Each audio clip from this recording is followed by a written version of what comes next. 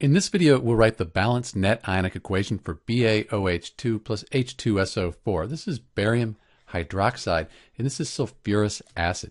So we have a base and an acid. This is a neutralization reaction. The first thing we need to do is balance the molecular equation. This is the molecular equation here.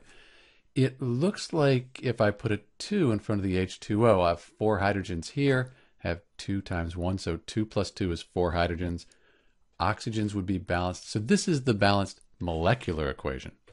Next, we can write the state for each substance. Barium hydroxide, that's considered a strong base. That's going to be aqueous and dissociate into its ions when it's put in water.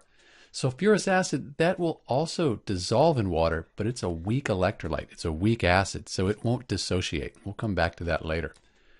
Sulfites in general are soluble, but barium sulfite, as well as barium sulfate, BaSO4, they're insoluble. So these two will react and we'll end up getting this solid here.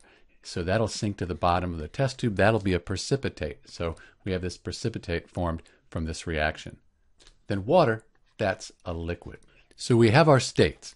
Now we can split the strong electrolytes into their ions, and we're only going to split the strong electrolytes into their ions for the complete ionic equation.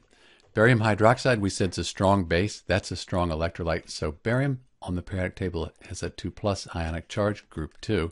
And the whole hydroxide is 1 minus. That's a good one to remember. So we have the barium ion, Ba2 plus. I won't write the states now. Let's do that at the end. And then we have two of these hydroxide ions, 2 OH minus. We said that this will dissolve in water, but it's a weak acid. It's a weak electrolyte. We don't split apart weak electrolytes. This is just one you have to memorize. So we'll keep this together as H2SO3. And those are the reactants in our net ionic equation.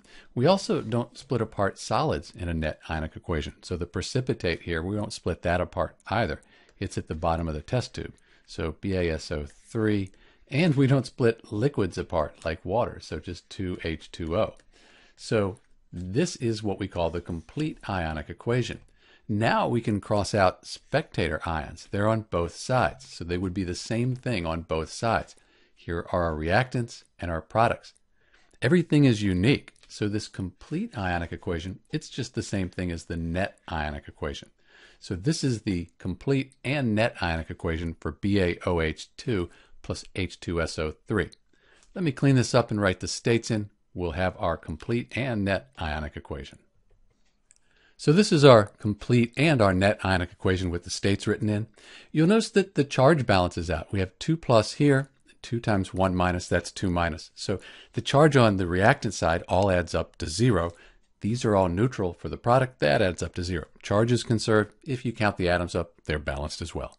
This is Dr. B with the balanced net ionic equation for barium hydroxide plus sulfurous acid. Thanks for watching.